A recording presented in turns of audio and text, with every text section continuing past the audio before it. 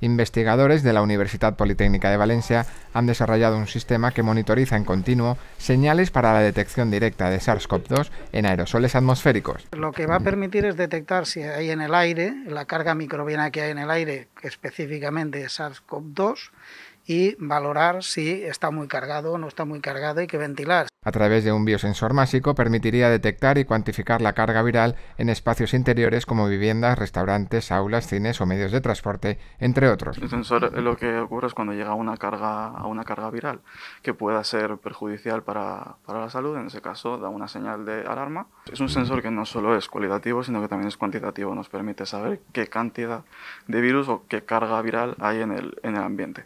El biosensor desarrollado por el IDM destaca por su facilidad de uso, bajo coste y versatilidad. Se encuentra actualmente en la fase de evaluación hospitalaria en un estudio que se está llevando a cabo con el Servicio de Medicina Preventiva y Calidad Asistencial del Hospital General Universitario de Castelló.